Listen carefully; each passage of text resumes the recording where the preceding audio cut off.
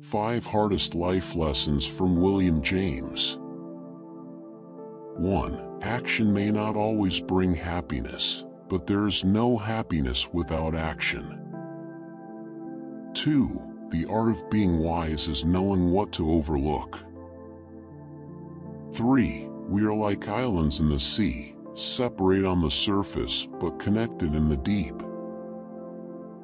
4. Act as if what you do makes a difference. It does. 5. The greatest discovery of any generation is that a human can alter his life by altering his attitude.